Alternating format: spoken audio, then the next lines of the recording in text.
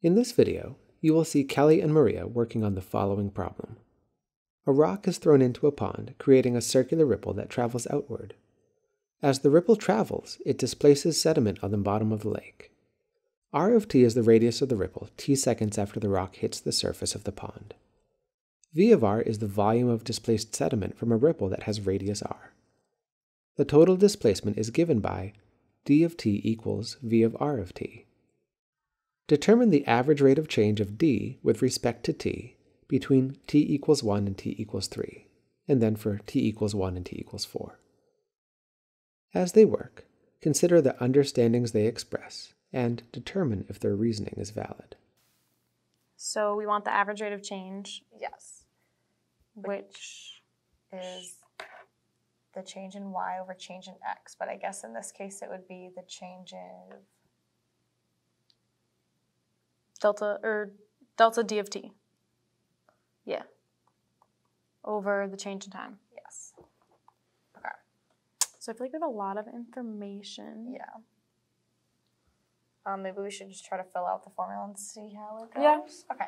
So you want to do the first one between 1 and 3? Yeah. Between t equals 1 and t equals 3? Okay.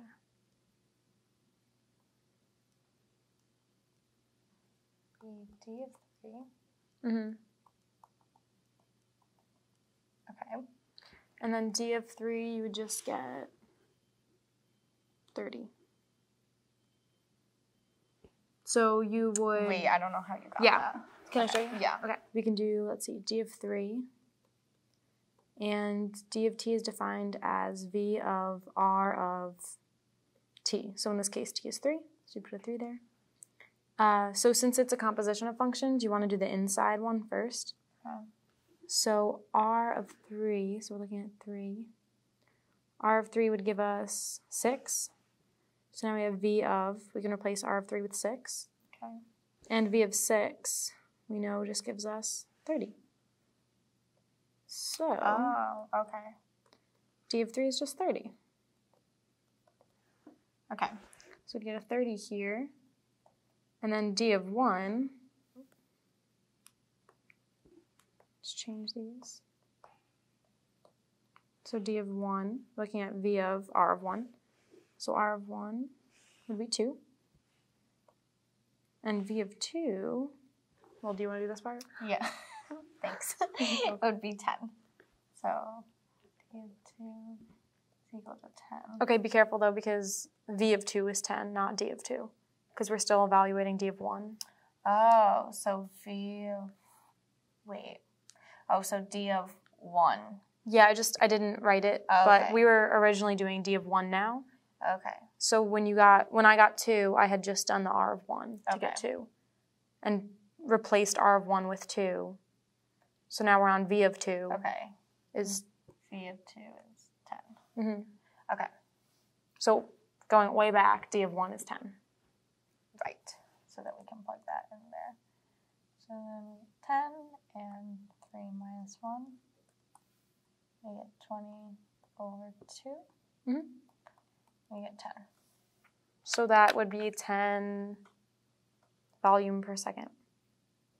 So whatever the volume is per second. Okay. So it's changing by 10 every second. Or the volume's changing by 10 every second. Right? Yeah.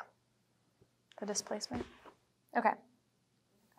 So, So now we're looking at between t of 1 and t equals 4, right? yeah. So same thing.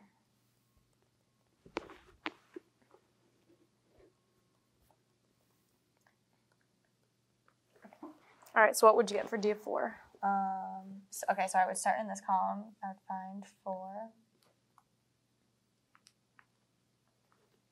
So I get 8. And then I go to 8 in this column. Mm-hmm.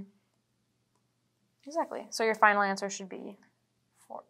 So d of 4 is 40. Mhm. Okay. And we already did D of we did 1, so So that's 10. So we get 30 over 3, which is again 10. okay. So the rate of change is the same between the two intervals. That's interesting. Yeah. Does that mean it's constant?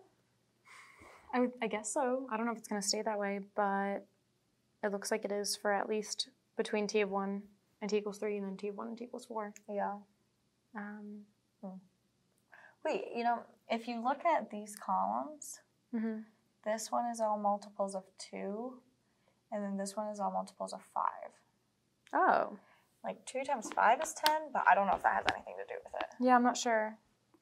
But that is interesting that it works out like that. Yeah. In this video, Kelly and Maria computed the average rates of change, but wondered whether these rates were actually constant and whether they came from multiplying 2 by 5. We'll explore these ideas in upcoming videos.